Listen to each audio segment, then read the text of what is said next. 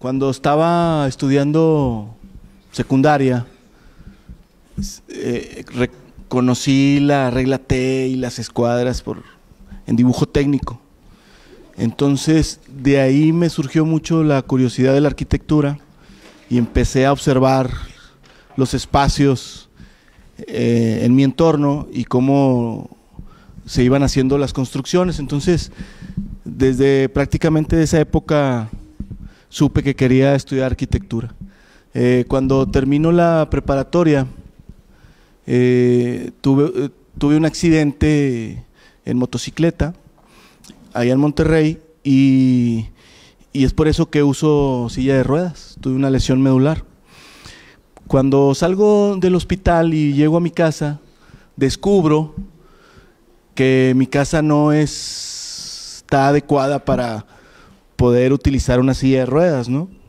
Y la tuvimos que cambiar y hacer un baño más amplio, etc.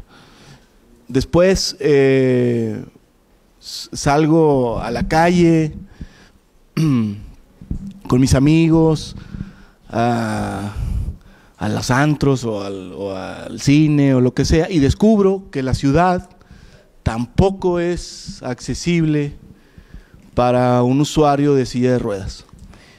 Y, y, con el tiempo dije, bueno, pues cuando te pasa un accidente como este, tienes dos opciones, o sigues adelante con tu vida, con tus planes, o te quedas en tu casa. Entonces decidí seguir con mis planes y me escribo a la Facultad de Arquitectura y descubro que en la Facultad de Arquitectura tampoco es accesible para una persona usuario de silla de ruedas. Y así me fui descubriendo que en todo el país eh, no era accesible para una persona en silla de ruedas. Entonces, eh, tenemos por resultado que lo que hemos hecho en este tiempo, hasta ahora que hemos estado un poco cambiando nuestros temas de diseño, siempre hemos cometido el error de, de hacerlo todo con muy buena voluntad, porque lo que queremos es ayudar y el diseño universal no es una ayuda, es un producto de venta. Y eso es lo que vamos a descubrir hoy. Entonces, este, en la fotografía vemos estas buenas voluntades donde hay un estacionamiento azul que no tiene sus dimensiones adecuadas, una rampa que más bien es como para jugar, azul, eh, muy empinada, digamos, y aparte un escalón en la puerta, bajo la puerta, ¿no? ¿Por qué? Porque creemos que siempre se va a meter el agua. Eh, esta foto, de hecho, la tomé en Guadalajara, pero en realidad la podemos ver en cualquier parte, sí, de, del país. Eh, tenemos que la accesibilidad para todos o el diseño universal se tiene que cerrar el círculo. Se tiene que tener sensibilización y empatía hacia hacia la discapacidad o hacia los grupos como el adulto mayor, que en 20 años ya vemos que van a ser mayoría o se van a emparejar con todos los demás grupos. Eh, en este caso, las personas con discapacidad o la discapacidad forma un parámetro de medición para la nueva arquitectura, eh, dando un cambio total en decir que vamos a ayudarlos. No, ahora la discapacidad nos ayuda a ser mejores diseñadores. Es algo muy distinto que ayudar a terceras personas. Eh, y en eso tiene que ver la sensibilización, entender realmente qué es la discapacidad. Y conocimientos técnicos, donde vienen los manuales técnicos que existen en el país, etcétera. Y entender que es un beneficio económico. Eh, la accesibilidad universal es un, es un beneficio económico dentro de nuestros proyectos. Es un producto de venta. Entonces, lo que queremos eh, tener aquí en la universidad es eh, una competencia inconsciente. La incompetencia inconsciente, que es la primera, la, de mero abajo, no se va a ver por, el, por la tele. Este, la incompetencia inconsciente es la primera abajo, es cuando no sabemos que existe algo que es mejor, pero como no sabemos que existe, pues dormimos bien tranquilos en la noche, ¿verdad? La, que sigue es incompetencia consciente, donde ya sabemos que existe algo mejor, pero no lo sabemos usar, entonces ya no dormimos tan a gusto en la noche. Es incómodo saber que hay algo mejor y no lo sé usar. Eh, la competencia consciente es, precisamente este momento cuando estamos poniendo atención y estamos aprendiendo algo nuevo. Pero la competencia inconsciente es cuando ya lo aprendimos, ya lo hicimos, lo llevamos a cabo y jamás se nos va a olvidar. Y tenemos el ejemplo de, de la, si cambia, déjame voltear tantito, El ejemplo de la bicicleta, yo les pregunto a ustedes, ¿quién sabe andar en bicicleta? Levante la mano. Déjela arriba el que tenga más de seis meses sin subirse. Poquitos, sin subirse. Muy bien. A ellos que la dejaron arriba, gracias. Les aseguro que si les pongo una bicicleta aquí, se suben y sin problema andan en ella, ¿verdad? Porque ya lo, ya lo hicieron una competencia inconsciente, ya lo traen en su cerebro. Entonces, la accesibilidad universal, nuestro, nuestra meta es que para todos ustedes ya la tengan dentro de su cerebro y cada vez que hagan un proyecto, lo hagan accesible sin tener que hacer cosas diferentes o especiales o extrañas, sino que desde un principio el, el proyecto salga accesible por naturaleza. Por eso Decía Confucio, escucho y olvido, veo y recuerdo, pero si lo hago, lo comprendo y jamás lo olvido.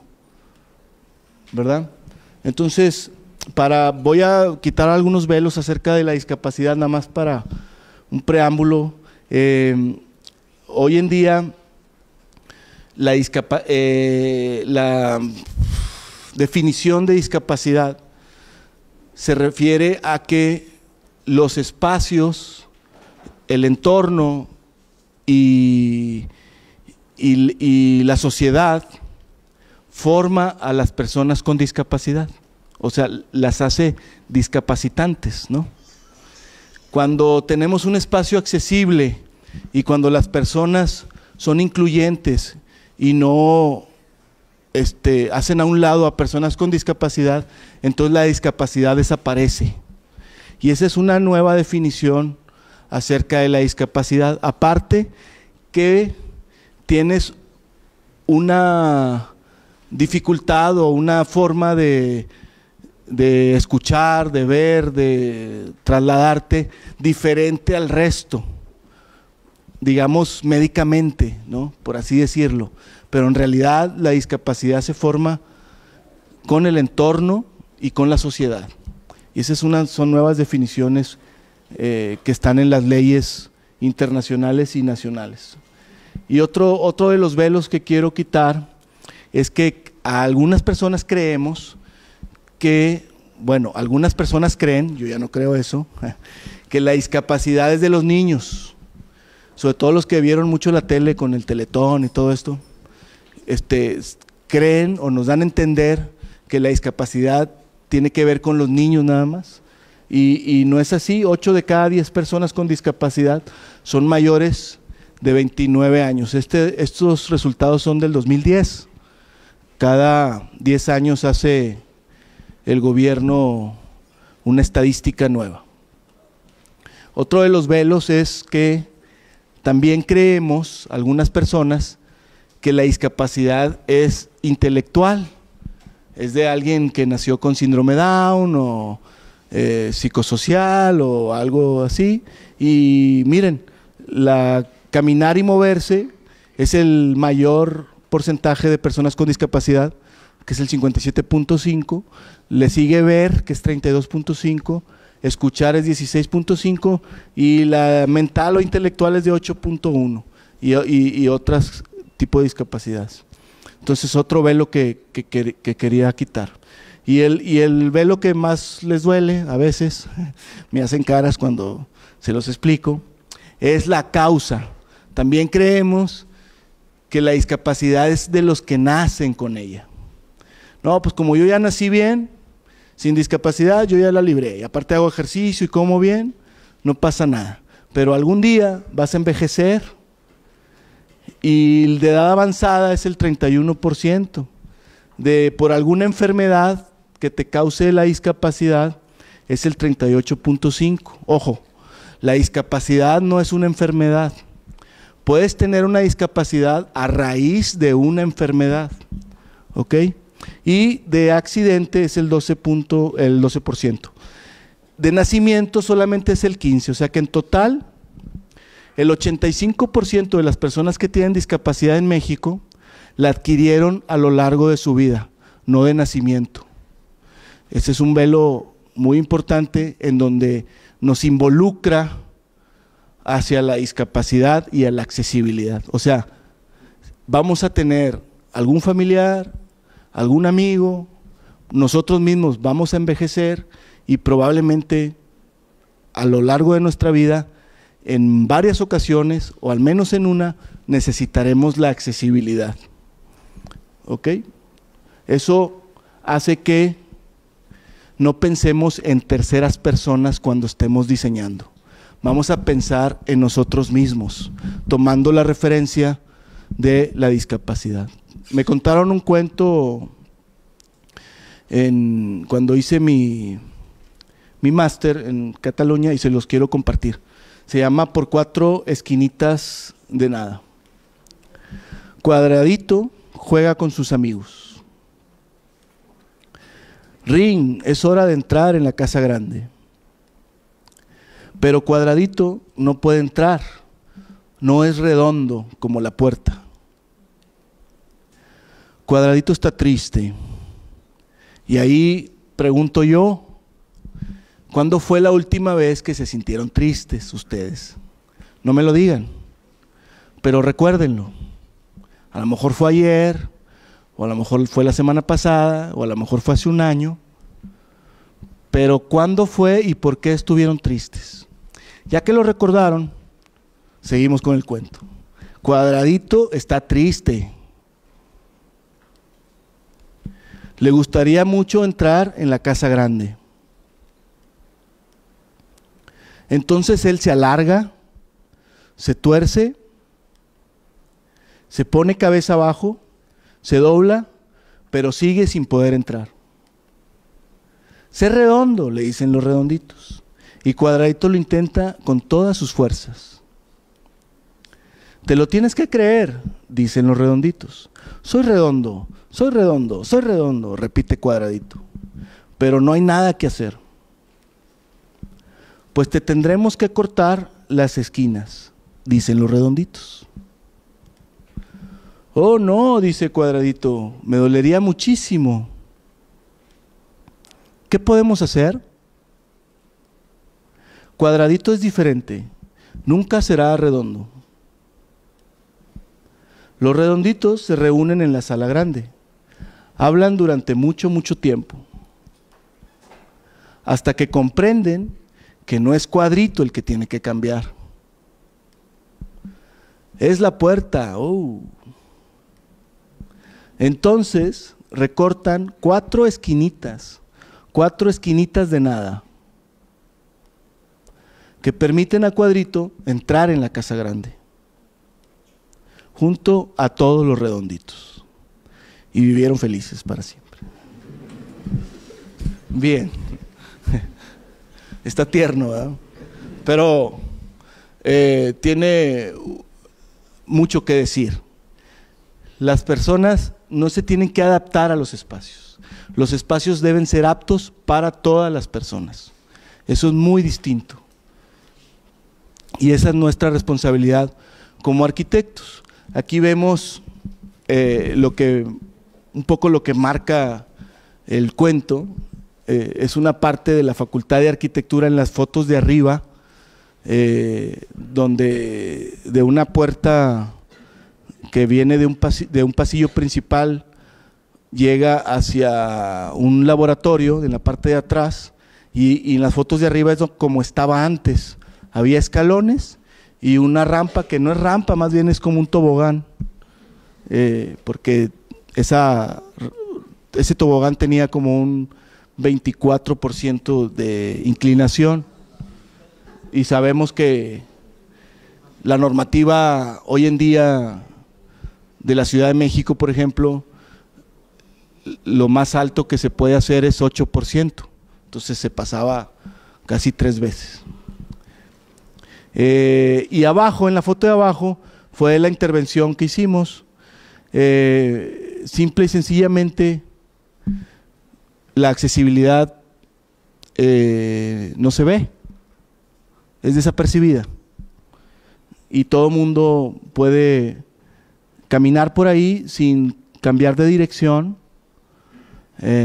sin hacer un movimiento extraño, fácil de usar, cumpliendo la mayoría de los siete principios del diseño universal que ahorita vamos a ver.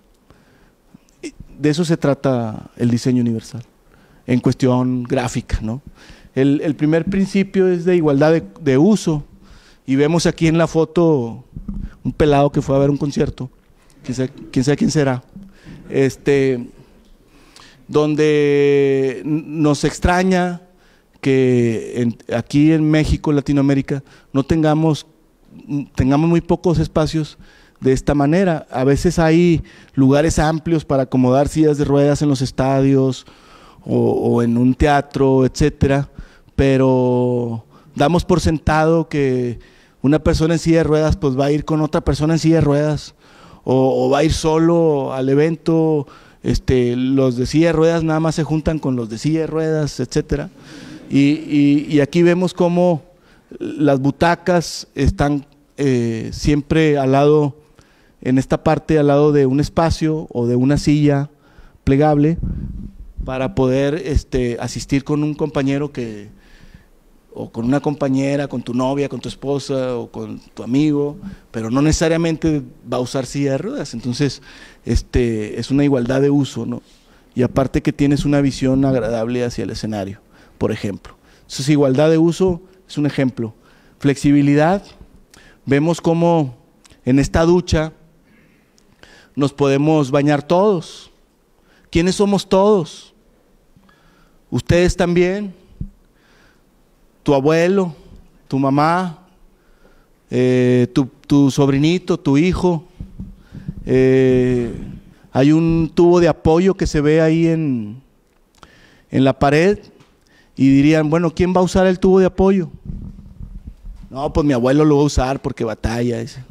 Y si tú te resbalas y te caes, te puedes matar. De hecho, en en los baños y en la cocina son los lugares donde hay más accidentes mortales de la casa. Esto por estadística. Entonces, el tubo de apoyo, vamos a dejar de pensar que es algo especial, que es nada más para alguien, que no es para mí. Que yo estoy bien, no, tengo nada que ver con, con, este tubo de apoyo, por ejemplo. Y, ya les, les estoy este, comprobando que no es cierto que ustedes se pueden caer y ese tubo de apoyo que vale 3 mil pesos con toda la colocación, les puede salvar su vida. Y yo les pregunto, ¿cuánto vale su vida? Entonces dejemos de ver a las cosas como especiales que no son para mí. De eso se trata el diseño universal. el escaloncito este, las muchachas se depilan las piernas. Estaría muy padre ese escaloncito en su baño, ¿sí o no? para poder subir la pierna y depilarse o sentarse. Si acaso este, tiene, jugaste fútbol eh, temprano y estás cansado y te bañas sentado. No sé, infinidad de cosas que pueden suceder y empezamos a dejar de observar cosas especiales. Son, son normales para, de uso para todos. Acá en la eh, estación de transporte público vemos un tubo que está ahí eh, horizontalmente, ¿lo ven? es un apoyo isquiático. El apoyo isquiático surge de las personas que se les inflama el nervio ciático, que es un nervio que viene desde la columna, desde los bajos de la columna, de la cadera, hacia el talón de la pierna. Cuando se te inflama ese nervio, no te puedes sentar ni parar. Lo puedes hacer, pero batallas mucho. Y, eso, y ese dolor de la ciática que le llaman eh, es muy común, incluso también en jóvenes que practican deportes de alto rendimiento. También es muy común el, dolor de la ciática. Y es por eso que internacionalmente, en lugares de corta espera, como una parada de camiones, se aplica el apoyo isquiático, que es ese tubo que está ahí. Hay varios diseños, en este caso lo pusieron como un tubo. Pero ¿qué pasa? Ustedes llegan y se recargan ahí. ¿Sí o no? Lo van a ver y va, ah, mira, para, me voy a recargar. Naturalmente. Y ni siquiera se tienen que enterar que eso surge de una condición de discapacidad por, el, por la inflamación del nervio ciático. Entonces, eh, como les voy a estar repitiendo en todas las filminas, la discapacidad nos hace mejores diseñadores. En vez de ayudar a alguien con discapacidad, ahora la discapacidad nos ayuda a ser mejores diseñadores. Eh, el simple intuitivo es, si compran una tele o compran un celular, ¿cuál es el instructivo? ¿Cómo es? Tiene pocos pasos, están numerados, están coloreados, son frases cortas, eh, muy entendible, ya no, ya no son los ya no son los instructivos de antes de, un librito con letras chiquitas, con un chorro de pasos, eso ya no, ya no lo hacen las grandes marcas. ¿Por qué? Porque desde hace mucho conocen el diseño universal y el principio número tres, que es simple e intuitivo. Y los diseñadores se encargan de aplicarlo. ¿Para qué? ¿De dónde surge hacer un instructivo simple o intuitivo? De la discapacidad intelectual, cognitiva, de la discapacidad psicosocial, del déficit de atención. Una persona con déficit de atención no va a leer nunca un instructivo largo. Va a ver fotografías y lo va a entender rapidísimo. ¿Sí? Le ayuda a una persona con discapacidad psicosocial, pero también nos ayuda a nosotros. Porque ¿quién, lee, ¿quién leía los instructivos así largos de letra chiquita? De repente sí me levanta la mano, porque sí hay gente que les gusta leer, ¿verdad? Este, no pasa nada, está bien, pero la mayoría no nos gusta. Y ahora abrimos la tele, abrimos el instructivo y ahora sí lo vemos porque son cinco pasos para aprenderla. Y luego ya adentro la misma tele nos va diciendo, pícale enter, pícale enter, pícale enter, ya que al cabo todo te lo voy a hacer. Bien, eso, eso es una ventaja para las empresas eh, donde amplían eh, su, las personas que las prefieran. ¿verdad? Prefieran comprar sus productos. A lo mejor hasta por ese mínimo detalle, lo pudieras preferir una marca. Entonces todo eso las empresas lo reconocen. Y aquí vemos también la lavadora como, como el simple hecho de que esté por un lado inclinado, ya puedas alcanzar el último calcetín. ¿verdad? Porque ahí te encargo, si está en el top la, la tapa, ahí te encargo el último calcetín. Le andan hablando a su mamá, agárrame porque voy por él. Este, entonces, eh, algo tan simple nos hace cambiar todo, tan simple y tan natural, ¿no? Porque cuando observamos a las, para quién, quiénes son los usuarios, que son las personas, pues podemos verlo tan natural, hacerlo inclinado.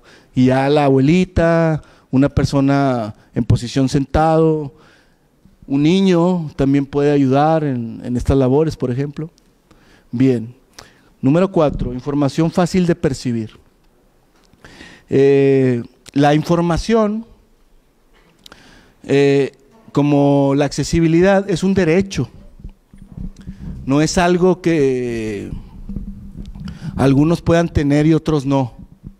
Por eso cuando vemos anuncios del presidente, viene siempre su cara cuando está hablando para que alguien si está ciego le pueda leer los labios. También vienen los subtítulos para que alguien que esté sordo pueda leerlos y saber qué está diciendo el presidente. Y también viene un sobrecuadro con una persona hablando en lengua de señas mexicanas, para que alguien que sepa lengua de señas pueda entender lo que está diciendo el presidente. Ese tipo de conceptos de diseño para anuncios, por ejemplo, en la televisión o en internet, son las características de accesibilidad que deben de tener todos, porque la información es un derecho, no es algo que, a ver, este, no, pues te tocó, no, pues no te tocó, no, eso no, la constitución no habla de eso, habla de que todos tenemos el derecho de la información, de toda la información. Y si vamos a un restaurante, pues hay que empezar a exigir que todos los platillos tengan fotografía. En Japón es una ley que todos los restaurantes deben de tener fotografía de, todos sus platillos. Fue tan, tan grande el boom de esa ley que ahora hacen maquetas hiperrealistas y hay negocios que se han hecho millonarios haciendo maquetas hiperrealistas para todos los restaurantes de Japón. ¿Y qué pasa? El restaurante de ver se antoja, ¿no? Tiene más comensales al tener la información en, en una vitrina, en la entrada, con, con platillos de maquetas hiperrealistas. Y algo que empezó como una ley de inclusión para personas con debilidad visual, eh, ahora se forma en un gran negocio. Por eso les digo que el diseño universal es un producto de venta, que, las características nos las da la discapacidad, pero en realidad es un servicio para todos. Y también, pues el braille podemos usar. Yo siempre que voy a un restaurante, siempre le digo, le hablo al gerente y le digo, yo te sugiero que tengas fotografías de todos los, los platillos, porque no sé qué pedir. Y luego si vas a uno extranjero, por ejemplo, vas a uno italiano, ahí con tu novia, ¿verdad? Y le dices, este, a ver qué vas a querer, y la novia, eh, no le entiendo. Eh, pomodoro al pesto y ¿qué es eso? ¿Verdad? Entonces, ¿y sabes qué? Sales perdiendo porque pide el más caro, es el único que está en fotografía. Y, pide el más caro, pues es el único que vio. Entonces tú sales perdiendo, pones más. Bien. la foto de al lado es un croquis de ubicación, que aquí podemos usarlo también en la universidad, por ejemplo. Es un croquis de, ubicación accesible, donde tiene alto relieve sus espacios, tiene alto relieve sus, eh, sus palabras, sus letras, y también viene la transcripción en braille. El braille no es un idioma, no es traducción, es transcripción. Eh, el braille es el mismo, la A es un puntito en inglés, en español, en alemán, ¿sí? Este, entonces es una transcripción. Y, y este tipo de croquis de ubicación pues son muy útiles para, para poder tener el derecho de la ubicación, de la información. En este caso, pudiera ser aquí mismo en la universidad. Y luego tenemos el número 5, que es tolerancia a errores. Eh, si vemos eh, la huella táctil, la amarilla, es una huella podotáctil para personas con discapacidad visual, usuarios de bastón blanco, eh, donde la pusieron, pero se toparon con un, una tapa de registro en la banqueta. ¿Y qué fue? No, pues le, echamos, le sacamos la vuelta, ¿no? Y, pues e, es, este ilógico, ¿no? Hacer eso, porque lo que estás dando es un servicio de ubicación a una persona ciega como para andarle dando vueltas en, una banqueta que va derecho. E, e, entonces, ¿qué pasa? Que no hubo una planeación. Los errores suceden por la planeación y es lo que ahorita vamos a cerrar más adelante ¿Qué, es un plan integral de accesibilidad? Y luego vemos eh, el baño eh, sanitario, donde tenemos un tubo acá en la mampara, del lado derecho para, para nosotros, para todos, del lado derecho. Tienes que tener un brazo de dos metros para poderte sostener, que te ayude para bajarte o subirte del baño, ¿no? Y aparte están, se ven que están muy altos. Te queda como, si estás sentadillo, ahí te quedas como, te queda como en la cabeza más o menos esos tubos, a la altura de la cabeza. Entonces, la planeación de esto eh, tiene que darse.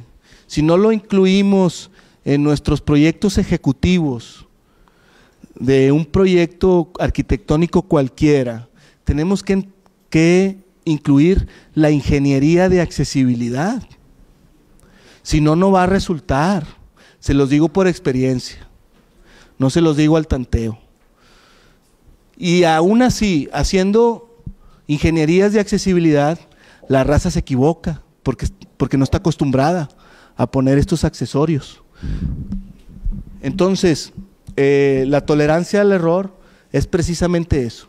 Es este integrar este proceso de diseño en todos nuestros proyectos y entender por qué están esos tubos, por ejemplo.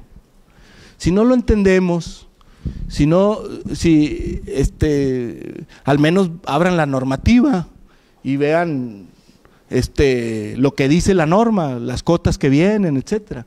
Eh, tampoco quiero que, que ustedes sean expertos en accesibilidad. El que quiera, adelante. Pero el caso es que, bueno, pues al menos abre la norma, ¿verdad? Si te toca hacer un baño, abre todo el, todo el, lo que dice de los baños en la norma, léelo, no es tanto como para que no, para que te equivoques menos, ¿no? Y, o, o busques asesoría. Ya después nos vamos acostumbrando. ¿Cómo nos vamos a acostumbrar a hacer accesibilidad?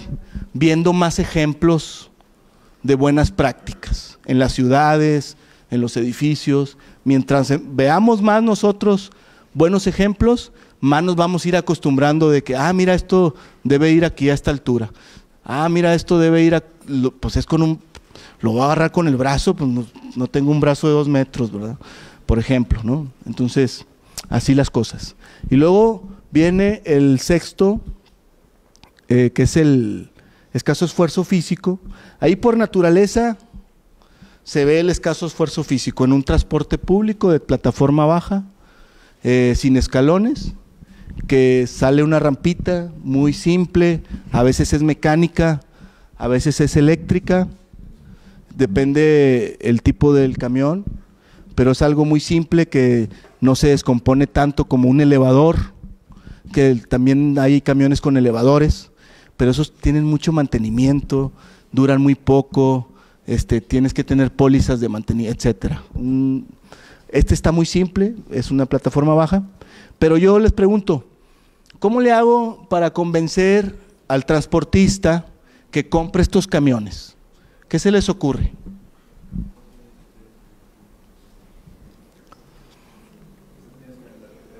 Le tienes que vender la idea, pero pues ¿cómo se la vendes?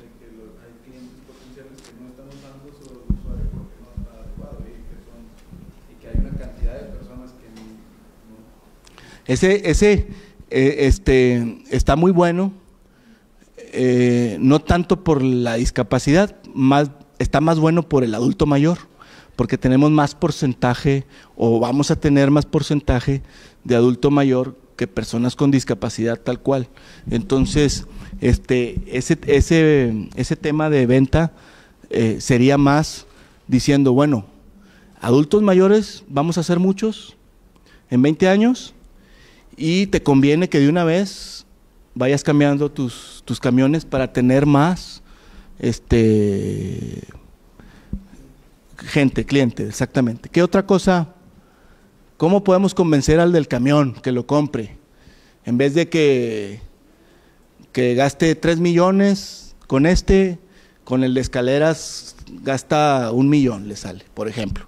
Entonces, hay que invertir, pues, salen más caros esos, probablemente. Yo estoy hablando con imaginación. ¿Cómo le hago para convencerlo?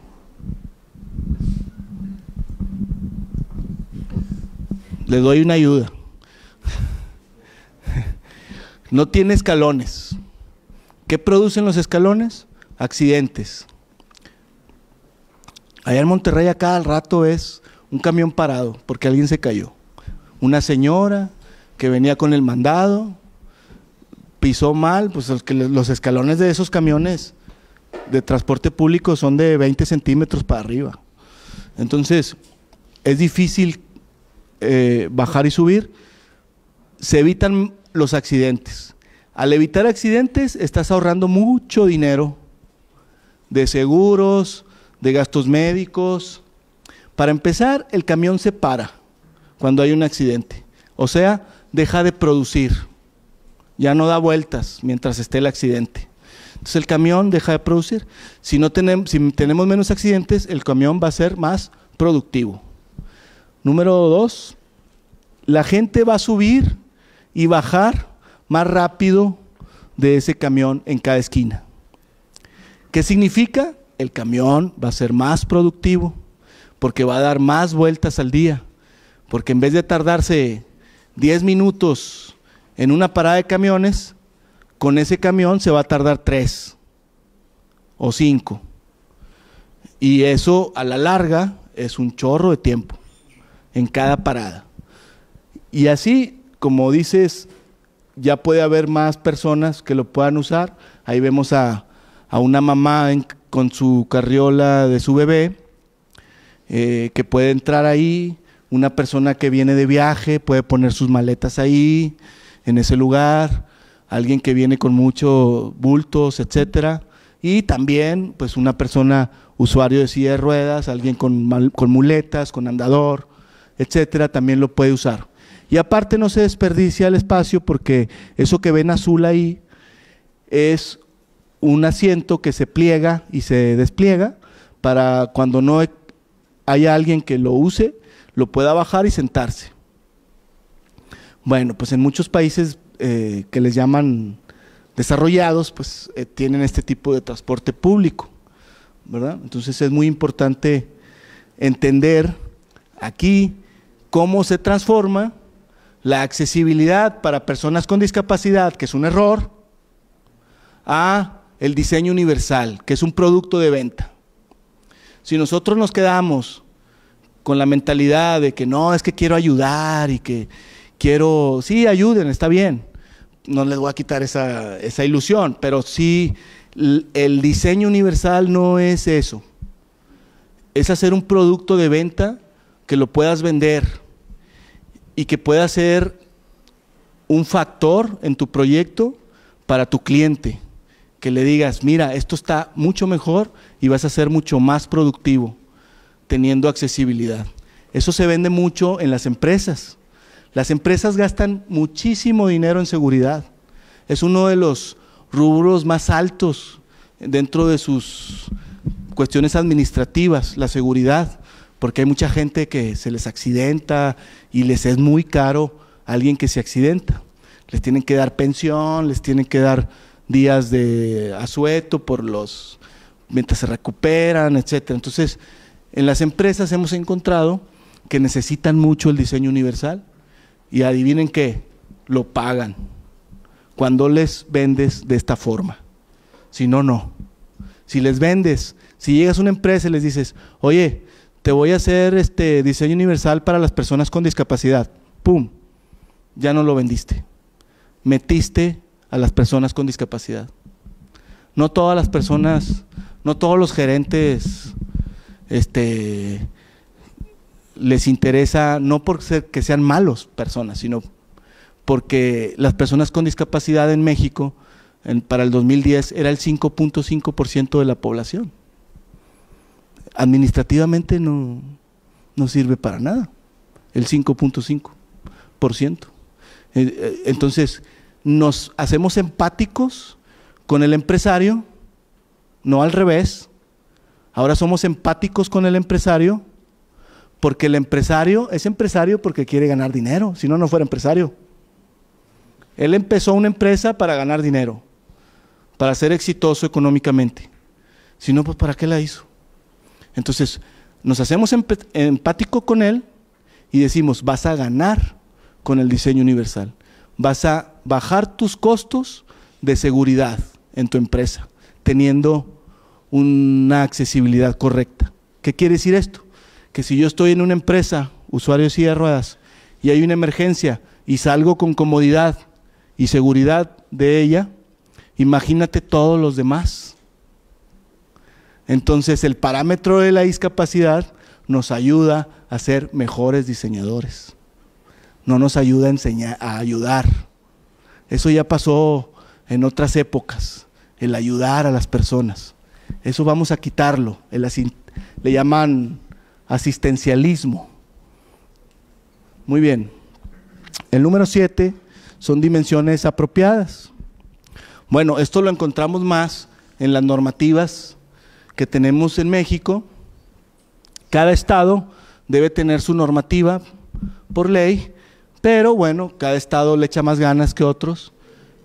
Este, yo utilizo mucho la normativa de la Ciudad de México porque está muy completa eh, y ya tiene tiempo trabajando en ella. Hay personas muy capacitadas que han estado trabajando en ella, entonces este, a mí me gusta más trabajar con, las normativas de la Ciudad de México que también aplican eh, en todos los estados, eh, porque son normativas que están basadas en normativas internacionales.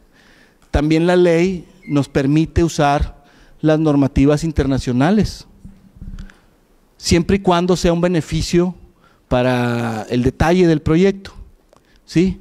O sea, no vamos a tomar una normativa internacional antigua que nos va a hacer algo retrógrado, ¿verdad? Siempre tiene que ser, el, gobierno, te, la ley te permite usar normativas internacionales siempre y cuando sea algo mejor que la nacional, ¿sí? Y lo puedas comprobar.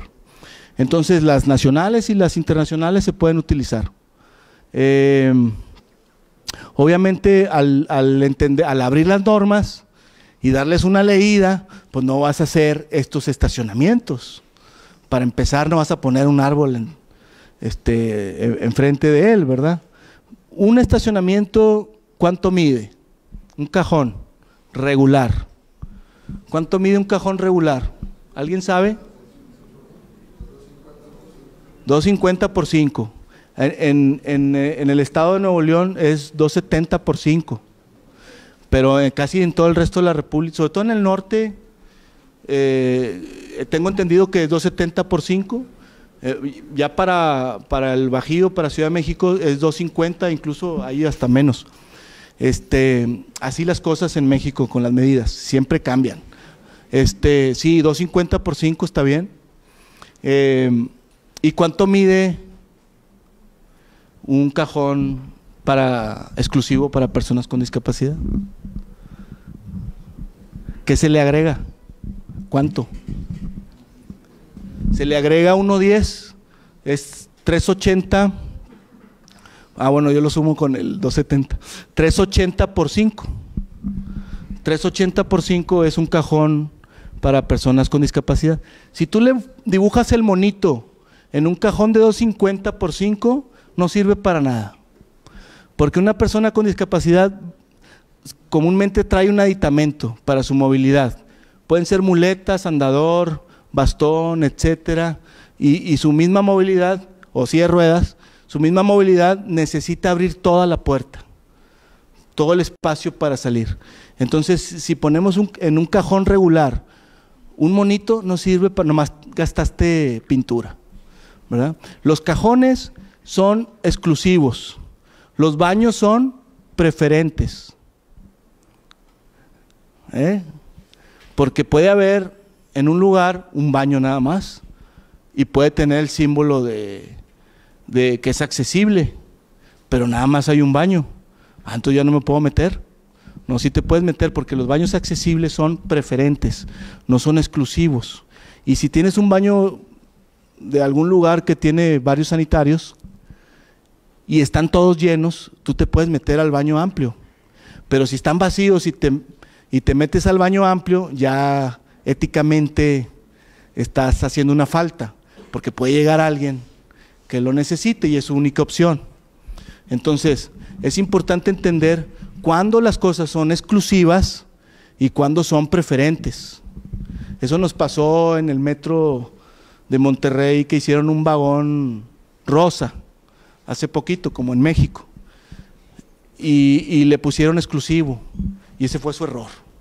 Entonces la gente se puso, se le pararon los pelos de punta a, todos los señores, porque estaba el metro bien lleno y el vagón rosa bien vacío, ¿no? A mitad de, uso. Y no, no te puedo subir, no te puedes subir. Y digo, no, bueno, hay que tener un criterio, ¿verdad? Si, si, si está todo el metro llenísimo y un vagón solo, pues oye, este, deja entrar a las personas, o sea, sobre todo en horas pico.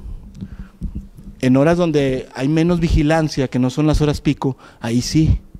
Vete para allá, las mujeres y las personas con discapacidad acá en el rosa, o los niños también. Entonces, ¿por qué? Porque lo, anunciaron con palabras equivocadas. ¿Cuál fue el error? Que le pusieron exclusivo y era preferente. Entonces sí, hizo un problema social ahí interesante. Bueno, este, ya me voy, yo se me ocurren cosas cada vez que veo las fotos y empiezo a platicar. Este, obviamente aquí vemos una recepción con dos alturas. Bueno, e, este, ahí un niño puede llegar y, oye, perdí a mi mamá, ayúdenme por favor. O una persona de talla baja también puede acercarse a pedir ayuda. Y claro, una persona usuario de silla de ruedas también lo puede hacer. Y alguien que no, pues también se puede parar en el lugar alto. Entonces ya tenemos una inclusión. Y, ese tipo de medidas, que la de abajo es de 80 centímetros sobre el suelo y la de arriba puede variar entre 1,10, 90, etcétera, este, sobre el suelo, eh, la podemos encontrar en las normativas. Y ahí es donde viene el número 7, dimensiones apropiadas. Hay que, hay que abrir los libros. Ahorita me dicen cómo ando de tiempo, porque yo, este, cinco, muy bien, rapidito. ¿Qué sucede con, qué, pasa cuando sucede un accidente? Hay un acto inseguro y una condición insegura. Y hablábamos ahorita de eso lo, en, en el camión de transporte. La condición insegura es el coche. Cuando te subes al coche y lo prendes, ya estás dentro de una condición insegura. Porque el coche tiene muchas posibilidades según lo que tú hagas de tus actos. Y si haces un acto inseguro y estás arriba de un coche, vas a chocar. Como pintarte los labios, hablar por teléfono, textear, comer. Todo eso, si lo haces arriba de un coche dándole, haces la fórmula para un accidente. Y eso sucede en la arquitectura. Si abajo de una puerta de emergencia tienes un escalón y aparte una rejilla pluvial, pues cuando pasen las señoritas, se les va a atorar el talón ahí del, tacón, eh, porque no van a ver, vienen con una urgencia por salir, porque es una salida de emergencia, se van a tropezar, se van a romper el tobillo, alguien los va a pisar, se pueden morir, etcétera, etcétera. Oigan, si pasa, si te caes, si caes en el filito, y te pegas en la cabeza, todo por una rejilla, por un tacón, eh, por un tacón espigueto. Este, eh, eh, este, las salidas de emergencia deben tener zonas de refugio donde las personas con, discapacidad o que necesitan una asistencia puedan esperar a alguien que, que los asista y todo, mientras todos los demás salen primero las personas que necesitan asistencia esperan al final, porque si los, si los ayudan al principio pueden hacer un tapón. Estamos hablando de edificios que puedan estar grandes, etcétera. Eh, hay elementos para las emergencias, como las sillas de evacuación de escaleras, que tienen sus rueditas, por ejemplo, donde su peso corporal se va directo a las ruedas y es muy livianas esas sillas para transportar a las personas, o sea, una, no sé, una persona no tan alta este, o no tan fuerte, no quiero decir mujer porque hay mujeres muy fuertes, entonces una persona no tan alta, no tan fuerte puede, puede bajar al compañero que está ahí con facilidad él solo. Y luego no tenemos una liga de distribución de accesibilidad. O sea, en esta foto la puerta, el paso peatonal y la rampa no están ligadas. Eh, aparte que la rampa está mal, porque es azul, discriminativa, estigmatizante. Tú vas por allá y los, eh, los blancos van por el área peatonal y las personas de color o afroamericanos van por el lado eh, de la rampa. Eso es discriminación. Y es lo mismo que sucede con la discapacidad. Tú eres eh, norteamericano africano y te vas por acá, por este lado. No, tengo discapacidad. Bueno, es lo mismo. Es una discriminación, porque no, no te vas por donde todos van. Y aquí cerquita, este, en los United States, vemos un Oxo, que no es Oxo, o un Super 7, que no es Super 7, es un Stripes y no tiene banqueta, no tiene un escalón abajo de la puerta, tiene sus cajones asignados, tiene una señalización en los cajones que sobre todo te dice que te va a cobrar 300 dólares si te estacionas ahí y por eso no se estaciona nadie más que el que debe. Bueno, sí, también en Estados Unidos hay gente viva, ¿eh? no crean que, todos somos seres humanos y tenemos nuestras cosas, no porque vivan en un primer mundo no hay gente mala o gente que con poca ética. Bien, el agua no se mete, no tenemos miedo a que se meta el agua, porque tenemos una rasante pluvial del 2% hacia la banqueta, tenemos el espacio, eh, el agua nunca va para arriba, siempre va para abajo. Mientras pongamos una rasante, no se nos va a meter el agua. Quiere decir que ahí construimos una arquitectura desapercibida. Hay cajones, si ven el cajón enfrente de la puerta, es un cajón regular. También los cajones regulares están cerca de la puerta. ¿Qué significa esto? Es diseño universal. Porque el diseño universal ve a todas las personas incluyendo a las personas con discapacidad. Pero primero ve a todas las personas, incluyendo a personas con discapacidad. El diseño universal no se basa en las personas con discapacidad nada más. Nos incluye a todos.